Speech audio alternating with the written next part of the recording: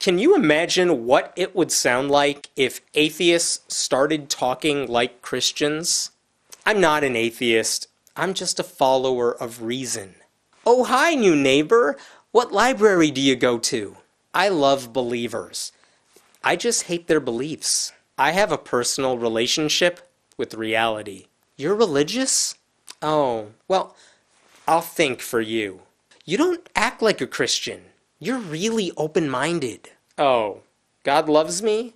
Well, Darwin explains you. Axial tilt is the reason for the season. I do good in the world because it's the atheist thing to do. You know what they say the universe works in non mysterious ways. Oh, stop complaining about my beliefs. You just hate reason. But it's okay.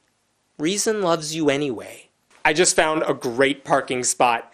Thank you, random chance. We all have a truth shaped hole in our brain. Conservatives are waging a war on science. You know what? That one actually makes sense.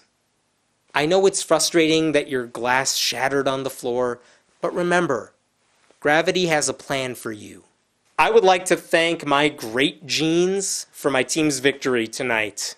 A lot of people reject atheism because they just don't want to obey the laws of physics. With science, all things are somewhat probable. You don't accept evolution? Then what's stopping you from murdering people if you don't think altruism guides your biological fitness? Just because you don't believe in evolution doesn't mean you didn't evolve. Deep down, I know you really believe in the scientific method. You don't accept science? That's just because you haven't gone to the right natural history museum yet.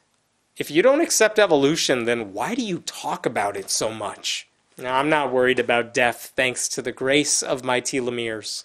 A peer reviewed journal said it. I have no reason to doubt it. That settles it. Unless new evidence becomes available. Before we eat, let us all bow our heads and thank the farmers who cultivated and harvested this food. Just you wait. When you're on your deathbed, you will finally ask for medicine. You know, I heard Thomas Aquinas recanted right before he died. Hmm. There will be fire and brimstone, and earth will be destroyed in several billion years. Why don't you just try not being delusional? Behold, the Christian's nightmare. Now, if you study a well made banana, you'll find it's a consequence of evolution. Artificial selection in this case. I will spare all of you my screams of, oh, Darwin. The point is, we'd all sound like jerks. Arrogant, condescending, and that's what a lot of Christianese sounds like too. And credit where it's due, by the way. I didn't write these. Most of these came from readers of my website who suggested them when I asked for ideas years ago. You could check the link below for the full article. Now, I want you to share this video with a hundred people. I mean, God won't love you and nothing will happen. It, it'd just be really, really nice of you.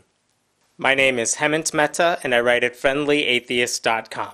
What do you want to see a video about? Let us know in the comments below, and we'll be sure to check it out.